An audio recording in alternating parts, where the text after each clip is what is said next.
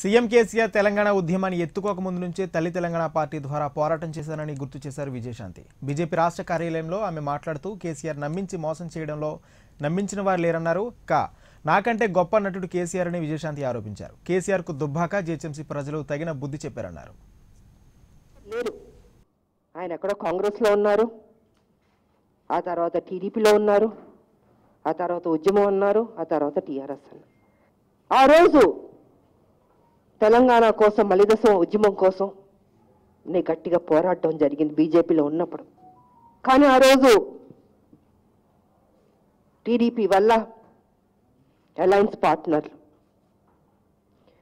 ఇంకా కొన్ని పార్టీల వల్ల తెలంగాణ రావడం కుదరలేదు.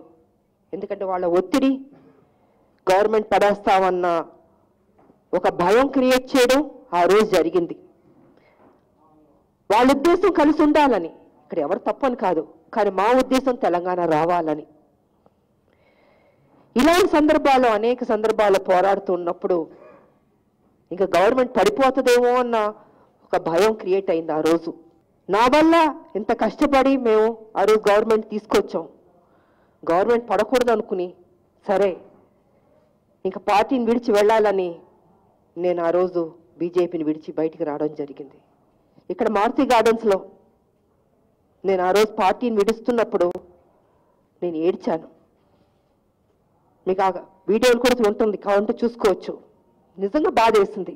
అంటే నా పార్టీ నా తల్లి పార్టీ బీజేపీ పార్టీ. ఇలా ఎందుకు ఏడుస్తున్నాను ఎందుకు వదిలి వెళ్ళిపోతున్నా నాకు చాలా బాధ వేసింది. కానీ తెలంగాణ కోసం నాకు తప్పట్లేదు. ఆ రోజు కేసీఆర్ గారు